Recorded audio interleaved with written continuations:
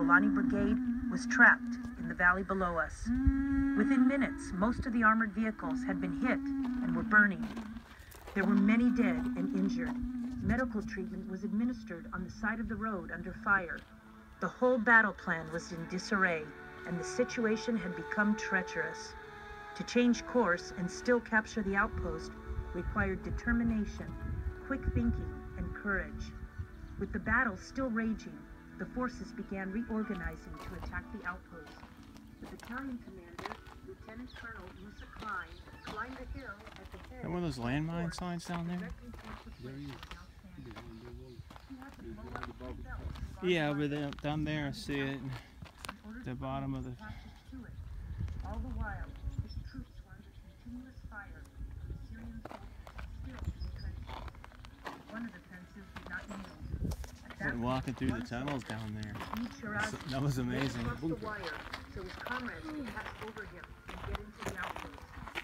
Later in the battle, Shirazi took a machine gun from one of the wounded soldiers and continued to fight until he was safe and killed. Armed bodies of the commander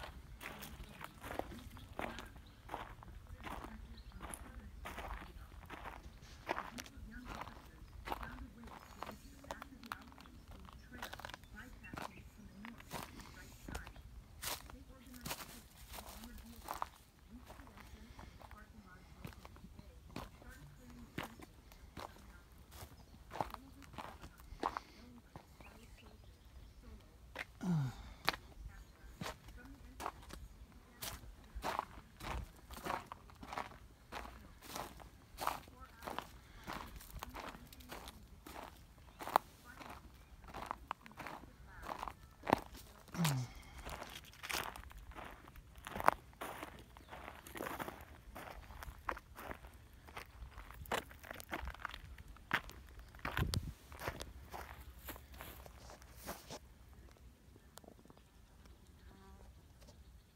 Oh, there it is. Landmine.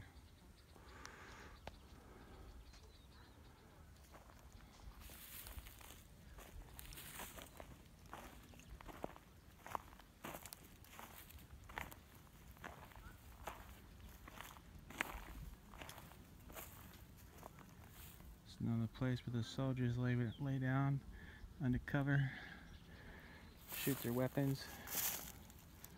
That's another landmine sign.